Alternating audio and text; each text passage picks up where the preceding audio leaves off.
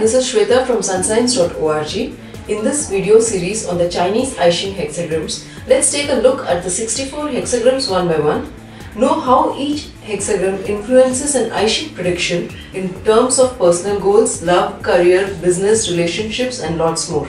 Visit sunsigns.org to read the full article and much more.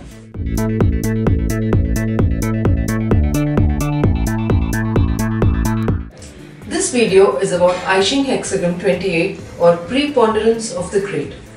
Ta Kuo is the Chinese name of the I Ching hexagram 28 with inner and outer trigrams forming Lake over Wind. This hexagram is called preponderance of the great or alternatively named great exceeding or great surpassing. Hexagram 28 is a clear warning.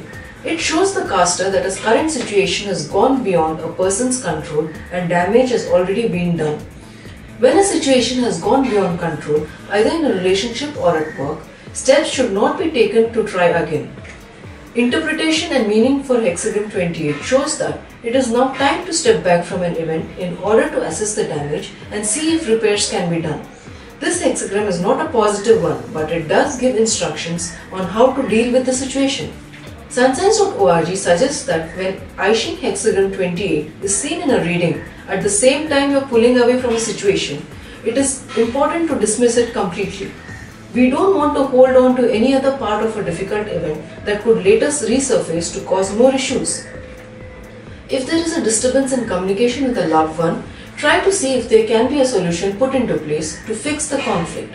A conflict that goes unresolved has the potential to do more damage that has already been done.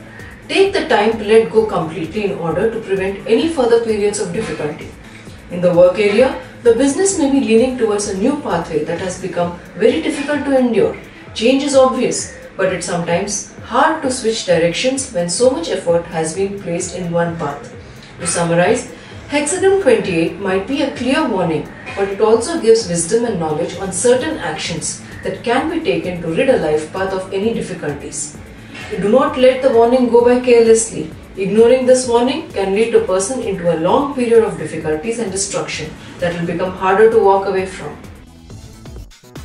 Check the description below to visit sunsigns.org and read the complete article on this hexagram in detail.